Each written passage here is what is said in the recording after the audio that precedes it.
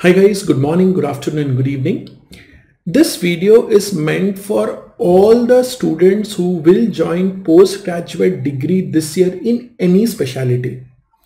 Now, or you are a first year or a second year, this video works for all of you. Now guys, let me tell you, when you would be doing a postgraduate, it is now mandatory by the National Medical Commission and this came out around 2019-2020, that is almost five years back, that every postgraduate before giving the final postgraduate exam has to pass a course called as BCBR, Basic Course in Biomedical Research.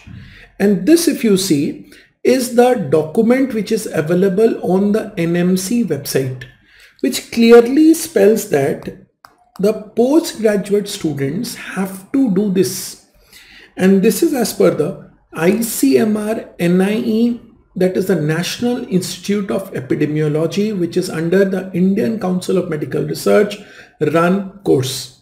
So guys it is mandatory for all of you to do this. This is the first point. Now it is also mandatory for medical teachers who would be medical faculties in the medical colleges for them to do it. Now let me explain about this course. This course is a online course which is flexible and self-paced. So you do not have a live class. You have some 20-25 videos. You have to listen to them. You have to give the quizzes related to them and then you would have some exam at the end of the entire module, then you will be eligible to give a written exam, which happens almost three or four times in a year where you have to go to a computer center just like the NEET PG exam and give an exam again. If you pass, you get an online certificate. So it is a very rigorous exam. So trust me, your friend in PSM or I cannot do this course for you. You are the person who has to do this course and this is mandatory. So if you go to the Swayam portal, this is a government of India portal. Here you would see a BCBR course. Now you have to put up a join over here.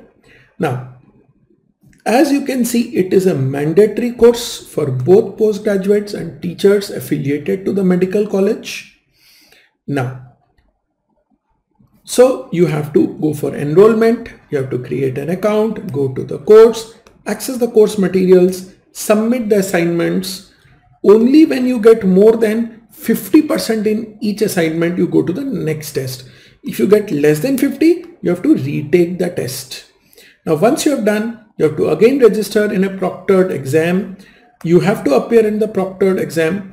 You have to score more than 50% then only your course completion happens. If you score less than 50 or you fail to receive a e-certificate, you have to again register for the next exam.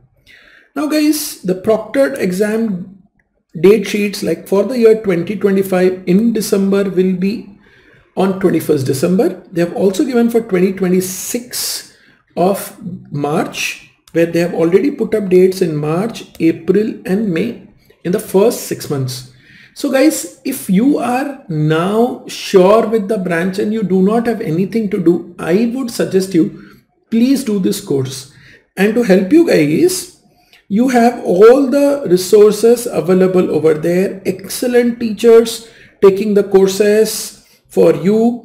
And more than that, you know me, I have always been on your side and that's a reason to help you also.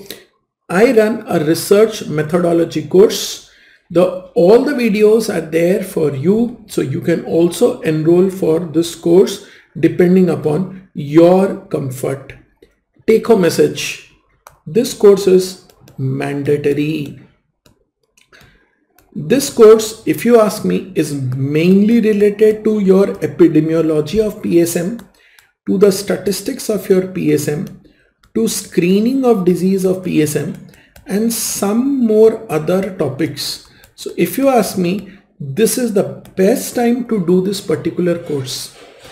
If you guys have any queries, any doubt, please do not hesitate to reach out to me on my WhatsApp number.